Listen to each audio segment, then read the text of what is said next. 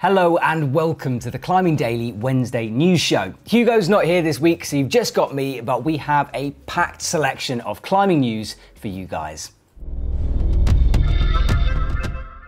Now, as the coronavirus continues to spread throughout the world, it's starting to affect our climbing community and potentially the IFSC World Cup events in China. The IFSC have released a statement saying that World Cup events in April, so Wujiang, Chongqing, and the Asian Games, might be postponed, moved, or even cancelled if necessary. There is concern about infection if athletes and officials travel to China. The press release indicates the IFSC's support for people dealing with the virus and go on to say how the health of the athletes and people working directly and indirectly is their main concern. The IFSC has shipped a supply of 10,000 breathing masks to China as a gesture of support. Now, this is definitely news, but we're going to have to wait and see how things pan out. Obviously, the coronavirus is in its early stages, and April is a way away. So the IFSC are just starting to put out the warnings that those events might be cancelled. It's lovely to see them sending those breathing masks over to China, and obviously their concern is for the local people as well as the athletes and the officials. But with many things at the moment, including Grand Prix, we're going to have to wait and see what happens with that virus. So stay tuned for more news coming soon. Now, Drew Ruana is on this show a lot at the moment, and guess what? He's back. Drew, who sent his hardest boulder problem last week, is back climbing 8C with an ascent of the Nest in Red Rocks. This route took some serious dedication as it takes about an hour and 20 minutes with pads on to approach. There's a write up on 8a.nu, and they also suggest that Drew is a possible tripartite Olympic ticket winner if Canada qualifies for the Pan American Championships. Drew in the Olympics? Yes, please. It would be very cool to see Drew in the Olympics if that's possible for ha- to happen. I really love it when outdoor or mainly outdoor climbers come into that indoor climbing world. Although we know that Drew is a proper indoor climber as well. I think I think he came 13th in the combined championship. So fingers crossed for him, uh, and hopefully we'll see him in the summer in Japan.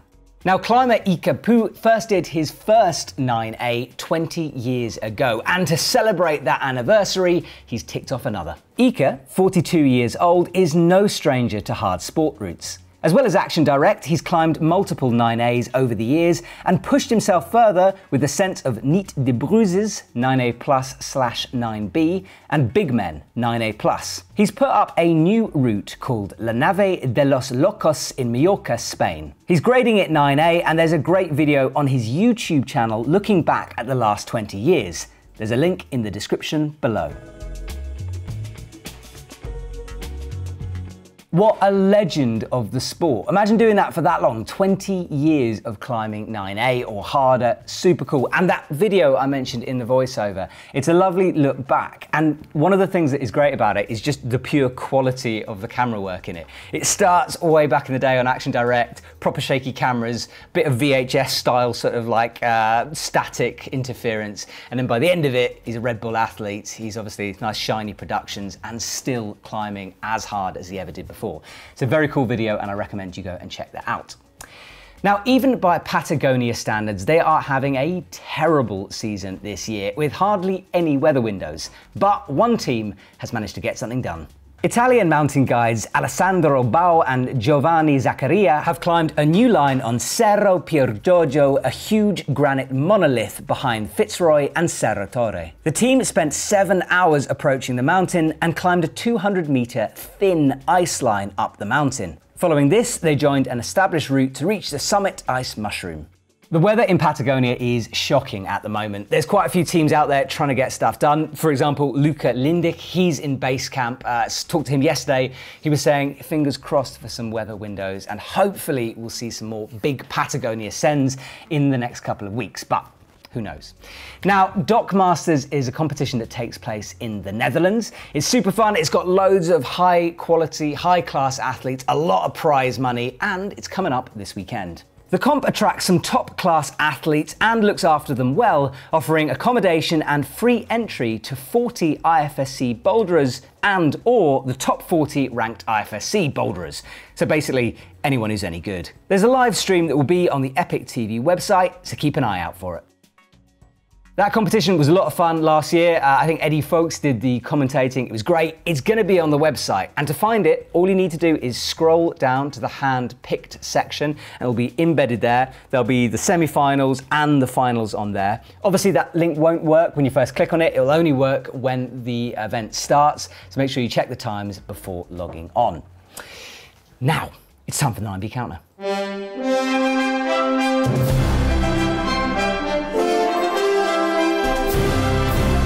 Uh, I got nothing, basically. Uh, I've got nothing at all. We've got the uh, 9B counter, the 8C counter, And then, the E10 slash whatever American trad grade counter, and then, and the women's 9A counter. And no one has done anything. Drew would have got on the old 8C counter, but obviously we're 8C plus counter this year to save us some paper mainly. Uh, now, you guys have been asking about the competition winners. Uh, apologies, we haven't got back to you on that. We are picking the winner today. So next week, stay tuned for who has won that competition. So it's someone winning the 9B counter and the 8C plus counter, the uh, Seven Sisters chalk, the Epic TV bottle. Anything else, Teresa? Nothing? That's it. Loads of prizes uh, to win. Uh, so that will be announced next week. So hang on for that and appreciate your patience. And athletes of the world, come on, you've got four counters now. Step it up.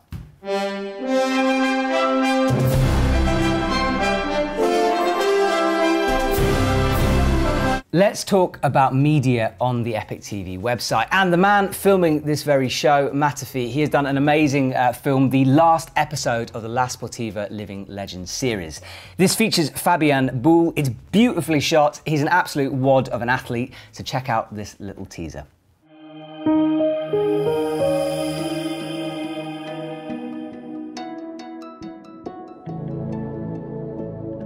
I don't want to put myself in one discipline or give me a name of like I'm now an alpinist or I'm now a boulderer. I think it's just a climber, just like to play in the mountains.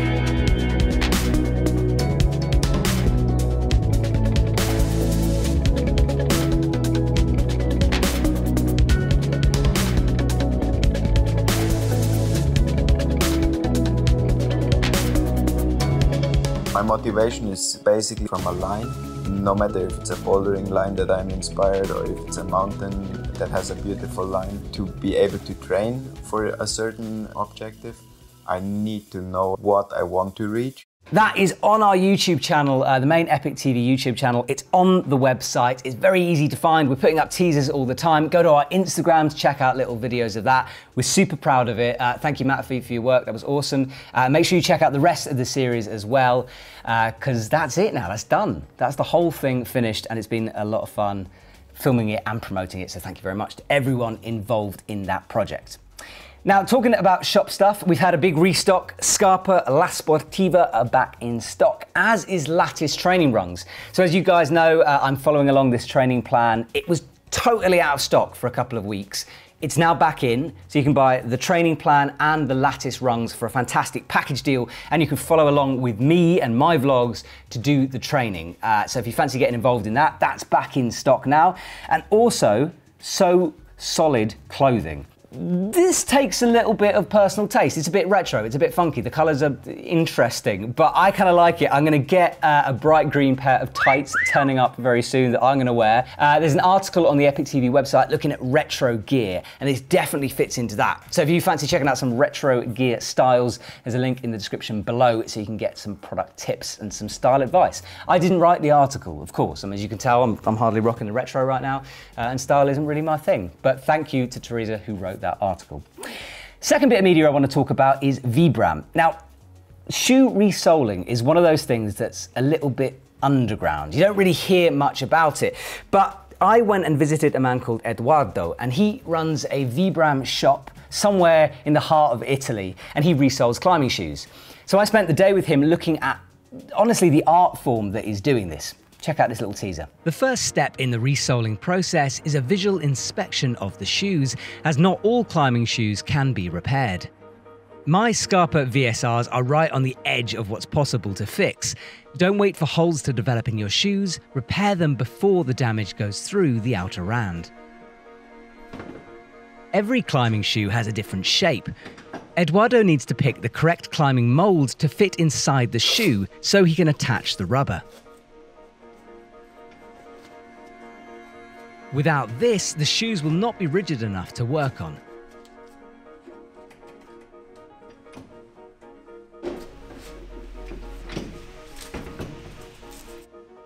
The shoes are placed under a special infrared heating lamp. The heat reactivates the glue between the sole and the upper, turning it into a softer substance that's easy to manipulate. After two to three minutes, the shoes are ready. That video is on YouTube, it's on the website, and it's an interesting look at how this process happens. And you can really turn something that's like old that you throw in the bin into a new climbing shoe. It's a cool thing to see. Check that out, link in the description below. And I think that's it. I think, oh no, comment of the week, comment of the week. Apologies, comment of the week. comment of the week. That's that. Right, uh, so the comment of the week this week is from, hang on. All right, so comment of the week this week is from Randomly Omnipotent. Stunning name, mate. And he simply says, Is your Flo the same guy who did the editing work on The Great War YouTube series? Let's ask Flo. No. He did do Prometheus, though. There you go. Comments answered, I think. Uh, thank you for sending the comments in. If you don't know how this works, you comment on the news show, and then we look at the news show and we find the funniest, weirdest, downright strangest comment, uh, and we shout those guys out. So thank you very much to everyone who's commentating. Comment, commenting? Commenting. Commenting. Uh, Hugo will be back next week uh, for another packed week. Cheers for watching, guys. Thank you very much and I'll see you soon.